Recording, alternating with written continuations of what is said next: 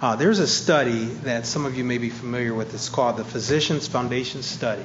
And the results from 2014 uh, were released. And I'm going to share just a few, actually, three of the facts that were revealed from this physician study. It's a large panel of physicians that were uh, interviewed to give this information. I want to share with you just three statistics that were pointed out.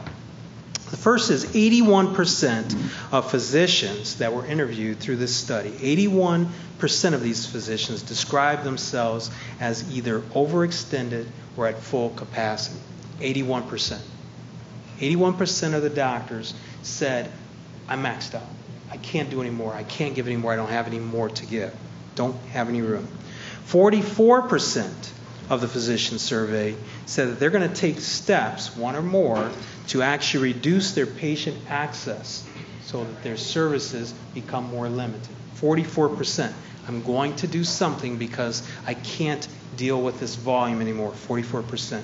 And then lastly, 55.6% of the physicians describe their morale as being negative. That means when they go into work, they start with a negative morale. They don't feel happy about what they do. They don't feel excited about taking care of patients. There's a drain, and that, you know, spills over to the staff and then certainly felt and it's palpable by the patients into their care. These statistics, and again, there are others that uh, certainly the study brought out, show us the crisis, the problem. And it really underscores that there's a need to find an answer, a solution.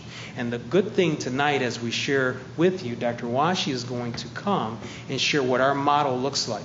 Because we believe very passionately, and many of our patients, if you were to talk to them, they would say very clearly that this model has answered the problem. It has solved the problem for them.